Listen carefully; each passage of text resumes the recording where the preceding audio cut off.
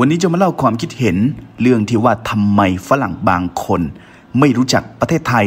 ผมเชื่อว่าบางท่านก็อาจจะถามด้วยว่ายังไมีอีกเหรอ ฝรั่งไม่รู้จักประเทศไทยเนี่ยออแต่มันก็มีจริงๆนะครับในชีวิตจริง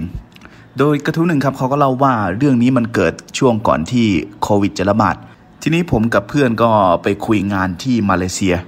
เพื่อนผมก็เป็นเซลล์ระหว่างประเทศ ได้ไปเจอกับฝ่ายขายของบริษัทหนึ่งเขาเป็นชาวตะวันตก พูดภาษาชาวบ้านเราก็คือเขาเป็นฝรั่งนั่นแหละ แต่ไม่ได้ถามนะว่าเขาเป็นคนประเทศอะไร ทีนี้พอนั่งคุยกันกับฝรั่งคนนั้นเขาก็พูดมาประโยคหนึ่งเขาถามว่าเป็นคนไต้หวันเหรอ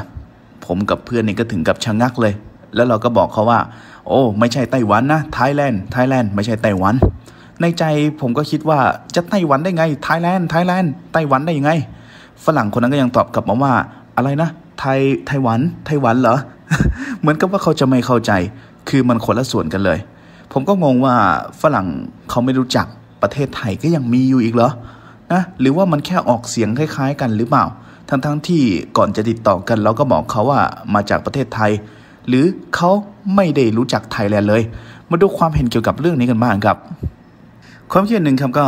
แชร์ประสบการณ์เช่นกันว่า ส่วนตัวผมเองก็เคยเจอฝรั่งที่ช่วงที่อยู่แคนาดานะ เวลาผมบอกว่ามาจากเมืองไทย บางคนเขาก็จะย้ำมาว่า ไต้หวันเหรอแต่ก็เป็นคนส่วนน้อยนะ แต่ฝรั่งส่วนใหญ่เขาจะรู้จัก อย่างน้อยๆก็รู้จักอาหารไทยกับเรื่องของชายหาดที่เมืองไทยเป็นอย่างดีเลย ผมเองไปเที่ยวยุโรปบ่อยๆ ก็ไปมาหลายประเทศ อย่างไปโปแลนด์ แม้แต่เด็กเสิร์ฟหรือบริกรเขาก็ถามผมว่า มาจากไหน ผมบอกว่ามาจากไทยแลนด์เขารู้จักเลย อ๋อ แบงคอก เชียงใหม่ ภูเก็ต พัทยา กรุงเทพเนี่ยเขารู้จักหมดเลย บางคนจะออกเสียงเป็นกรุงเทพเลยนะ ไม่ได้เรียกแบงคอกแสดงว่าเขารู้จักเป็นอย่างดีแหละ บางทีหากใครถามว่ามาจากไหน ผมก็จะตอบไปเลยว่ามาจากแบงคอก คือผมจะไม่พูดไต้หวัน มันจะฟังแยกกันออกอย่างชัดเจนเลยทีเดียว ความคิดหนึ่งก็บอกว่าในยุโรปน้อยคนเลยนะ น้อยคนที่จะไม่รู้จักประเทศไทย เพอๆประเทศไทยเป็นที่รู้จักมากกว่าไต้หวันซะด้วยซ้ำแต่ทางทวีปอเมริกาเหนือกับใต้คนไม่รู้จักไทยอาจจะมีเยอะก็เป็นได้ ความคิดเห็นธรรมาครับก็บอกว่าไม่แปลกครับฝรั่งบางคนเนี่ยไม่รู้ก็คือไม่รู้จริงๆนะอย่างที่อเมริกาเองก็มีมุกแซวกันประมาณว่า แม้แต่ระดับผู้นำประเทศเขาไม่รู้ว่าคนไหนนะครับเขาบอกว่ามีช่วงหนึ่งเขากล่าวยกย่องฮาวายว่า เป็นชาติมหามิตรที่ดีที่สุดของอเมริกา เอ๊ะ คนก็เลยงงว่าฮาวายนี่เป็นประเทศเป็นชาติหนึ่งอย่างนั้นเหรอ แม้แต่ดูไบเองนะครับเขาก็เปรียบเทียบไม่เห็นว่าขณะคนไทยเราเอง ยังคิดว่าดูไบเป็นประเทศเลยเขาก็อธิบายประมาณว่ามันก็เป็นอีกมุมของคนอีกฝั่งโลกนะครับถ้าเขาไม่ได้คิดจะมาเที่ยวเมืองไทยเขาอาจจะไม่รู้จักหรือสับสนเป็นไต้หวันก็ได้นะครับ ในขณะที่ความคิดเห็นธรรมาก็บอกว่า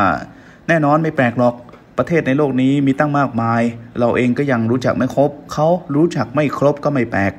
ผมอยู่ที่อเมริกาเพื่อนบ้านพอได้ยินเราบอกว่ามาจากประเทศไทย เขาก็อุตส่าห์พยายามชวนคุยว่าแม่ของเพื่อนลูกเขาเป็นคนไต้หวันนะเพิ่งกลับมาจากไต้หวันเลยประเทศเธอนั่นแหละ เราก็ได้แต่ยิ้มแห้งๆแล้วก็บอกไปอ้อมๆว่า เราเองก็ไม่ค่อยรู้จักไต้หวันเท่าไหร่เพราะว่าไม่เคยไปสักที เอ้ยไทยแลนด์ฟังผิดได้ยังไงก็ไม่รู้เหมือนกันนะ ความคิดต่อมาครับก็บอกว่า แต่ของผมนี่ไม่เคยเจอเลยนะ เหมือนกับว่ายุคสมัยใหม่ฝรั่งหลาย ๆ คนแทบจะเคยมาเที่ยวเมืองไทย บางคนในเที่ยวเกือบทั้งประเทศแล้ว คือมีชื่อเสียงด้านการท่องเที่ยวสำหรับเขามากๆ ต่อให้ถึงแม้ไม่เคยมาที่เมืองไทยมาก่อน ก็ย่อมมีเพื่อนหรือคนรอบตัวเขาที่เคยไปหรือพูดถึงไทยแลนด์บ้างแหละต่อกันที่ความคิดเห็นธรรมาครับก็บอกว่าในต่างประเทศก็จริงอยู่นะ บางคนสับสนกับไต้หวัน แต่ไม่ใช่คนส่วนใหญ่ คนส่วนใหญ่จะรู้จักไทยแลนด์ มีเพียงส่วนน้อยเท่านั้นที่จะมาสับสนไต้หวันกับไทยแลนด์จากประสบการณ์ตรงเพื่อนร่วมชั้นเรียนที่อเมริกา เขาถามเราว่ามาจากไหนไอเราก็ตอบไปว่าไทยแลนด์ เขาก็เลยสวนมาเลยว่าอ้าวไต้หวันเหรอแล้วก็ทำหน้าประมาณว่าอะตกลงไต้หวันใช่ไหมแล้วพอในชั้นเรียนมีแผนที่โลกติดอยู่พอดี เราก็เลยชี้ให้ดูว่าประเทศไทยอยู่ตรงนี้ ส่วนไต้หวันอยู่ตรงนี้อะเขาก็เข้าใจคือบางคนเขาสับสนจริงๆต้องเข้าใจว่าที่อเมริกาโดยเฉพาะอเมริกานะครับเขาย้ำว่า คือคนอเมริกันบางคนเนี่ยเขาไม่ออกนอกประเทศเลย แล้วก็บางคนเขาไม่สนใจเรื่องภูมิศาสตร์ก็มีมาก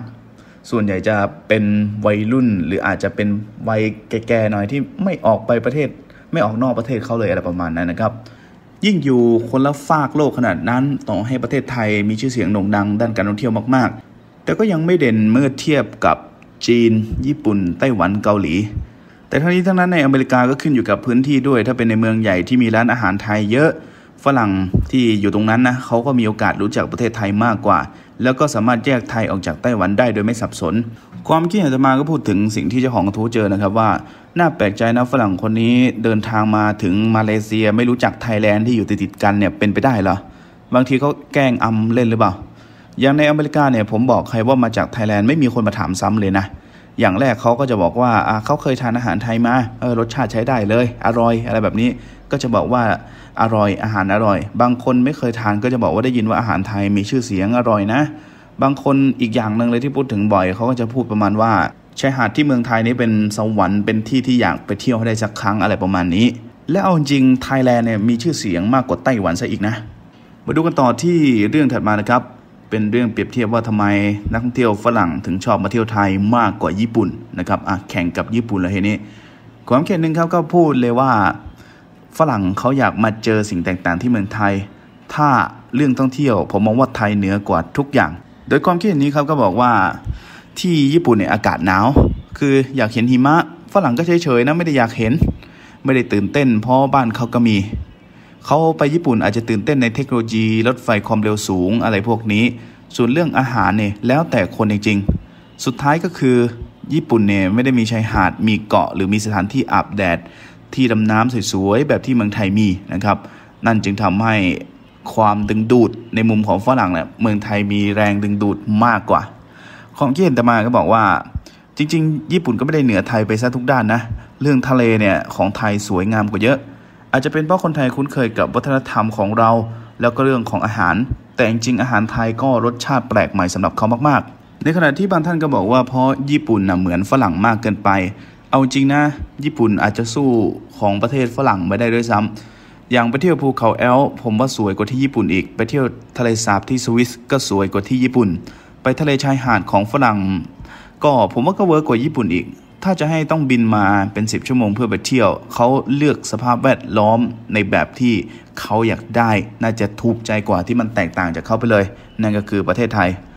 ก่อนเกียรติมาก็บอกว่าเคยเจอฝรั่งหลายชาติในต่างประเทศ พอรู้ว่าผมเป็นคนไทย คนที่เคยมาเที่ยวไทยก็จะรีบบอกทันทีว่า ทะเลที่ภูเก็ตสมุยสวยมากๆ บางคนมาหลายครั้ง บางคนก็บอกว่าชอบอาหารไทย ฝรั่งอยู่ในเมืองหนาวเขาเบื่อหิมะ เบื่ออากาศหนาวเย็น ซึ่งสภาพของญี่ปุ่นก็คล้ายๆกันเลยดังนั้นเขาจึงเลือกมาที่เมืองร้อนแดดใสๆฝรั่งชอบอาบแดดเพราะบ้านเขาไม่มีแดด ความคิดตมาครับก็บอกว่า นักท่องเที่ยวฝรั่งก็มีมากมายหลายแบบอยู่นะ แต่เท่าที่ผมดูนักท่องเที่ยวเขาก็ไปแทบทุกประเทศเลยครับ สุดท้ายก็ลงเอยที่ประเทศไทยนี่แหละ รสชาติอาหารที่แตกต่าง วัฒนธรรมที่แตกต่าง และธรรมชาติที่แตกต่าง โอเคครับสำหรับเรื่องราวในวันนี้ก็ขอจบลงเพียงเท่านี้ครับ ขอบคุณสำหรับการรับชมครับ สวัสดีครับ